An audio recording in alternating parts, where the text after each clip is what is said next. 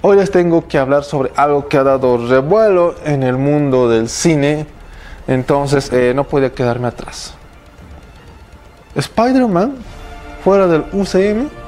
Ok, ok, sé que muchos están hablando de esto, mucho, ha habido mucha repercusión, pero no me puedo quedar atrás y además tengo opiniones que darles que realmente pensándolo con cabeza fría, verán que tengo razón. Bien, ha habido mucho, mucho revuelo porque Kevin Feige, presidente de Marvel Studios, recuerden que Marvel es de Disney, se reunió con los directivos de Sony. Recordemos que hace muchos, muchos años Marvel le vendió los derechos del cine de Spider-Man a Sony. y de ahí Sony sacó Spider-Man 1, Spider-Man 2, Spider-Man 3 con Tobey Maguire, gran, gran trilogía. Luego vino The Amazing Spider-Man 1, The Amazing Spider-Man 2 con Andrew Garfield. Y de ahí ya se dio una, un acuerdo entre Sony y Marvel para introducir a Spider-Man nuevamente al UCM. De ahí que apareció el hombre araña en Civil War, Capitán América. Entonces todos estaban felices y contentos, pero la hecatombe. ¿Por qué? Porque en esta reunión de Marvel y Sony, Marvel dijo, bueno, las malas lenguas cuentan que en el, arreglo de toda la taquilla que cosechaba las películas de Spider-Man ya dentro del UCM, dentro del mundo de los Vengadores, solo el 5% era para Marvel y el resto era para Sony. Obvio que un 5% son millones, pero aún así las proporciones no, no eran tan justas como deberían ser. Entonces Marvel dijo, ok, eh, Spider-Man está teniendo éxito, ¿por qué? Porque está en el universo de los Vengadores, ¿por qué? Porque está con Iron Man, con Capitán América, con todos. Así que reajustemos las cosas y hagamos que sea mitad a mitad. 50% para Sony, 50% para Marvel. ¿Y qué dijo Sony? Bueno, pues cuidando sus intereses, dijo, no, no, Spider-Man es nuestro. Así que seguimos con el trato y de ahí se dio un bollo, un quilombo. Entonces saltó la noticia de que Spider-Man estaba fuera de, del UCM. Entonces eh, inmediatamente todos se volvieron locos, dijeron, oh, Spider-Man fuera. Entonces Sony, Sony tiene, puede, tiene el poder de apartar a Spider-Man y hacer películas con Spider-Man, con, con el actor Tom Holland. puede hacerlo. Y Marvel no podría hacer nada. Sony tiene el derecho legal de hacerlo. Entonces se dio una primera rueda de prensa en la que, bueno, no seguía el claro oscuro. Sony no dijo ni sí ni no, solo dijo que vamos a hacer una tercera película de Spider-Man con Tom Holland. Y punto. Nosotros la hacemos porque pueden hacerla. Por su lado, eh, Marvel no dijo nada. Entonces, eh, esto dio la vuelta al mundo. ¿Ok? Y ahora, ¿cuál es la, repercusión? ¿Cuál sería la consecuencia?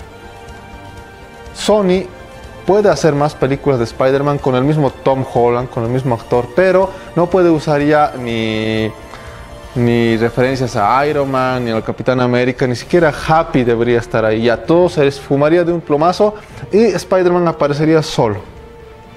No podría hacer ninguna referencia ni al chasquido, ni a, ni a todo, ni a todo lo que hemos visto en el universo Avengers. Pero él seguiría siendo el mismo actor y el mismo personaje. Entonces muchos dirían, mm, bueno, sería una catástrofe. Pero recordemos que Marvel tiene un propio universo. Quien quita Sony tendría la opción de, uno, unir a, al Spider-Man con Venom taquillazo. Dos, se prepara una película de Morbius, un villano de, Spider-Man. También unirlo ahí. Taquillazo. ¿Y cuál sería el culmen de todo eso? Porque Sony puede hacerlo, ya que tiene los multiversos y formar el llamado Spider-Verso. En algún momento unir a Tom Holland, Andrew Garfield y Tobey Maguire. Todos los Spider-Mans que hemos visto en el cine en uno solo, en el Spider-Verse. Entonces, además de eso, podría introducir a Miles Morales, a Spider-Gwen. Entonces, amigos, Sony tiene todas las de ganar. ¿Por qué? Porque tiene un personaje icónico como es el hombre araña y tiene todo un universo. Y tiene un universo también ya andado con Spider-Man 1, 2 y 3 y The Amazing Spider-Man 1 y 2.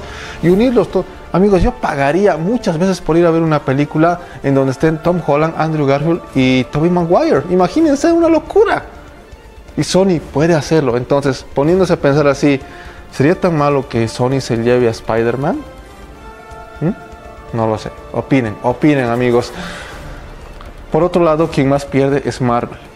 Se llevan a Spider-Man y de la noche ellos seguirían con su universo, seguirían con el, eh, Thor, con Capitán América, con los Guardianes de la Galaxia, seguirían, pero Spider-Man desaparecería. Y Spider-Man es uno de los personajes más populares de Marvel. Entonces, quien más pierde en este trato es Marvel. Ahora, esto no es fijo, las negociaciones siguen. Eh, noticias de, los, de las últimas horas dicen que habría habido una nueva reunión entre Marvel y Sony en la que tal vez una propuesta de solución sería que, ok, Marvel puede seguir usando a Spider-Man en sus películas y por su lado Sony también puede usarlo para juntarlo con Venom, con Morbius y así todo estaría mucho más unido.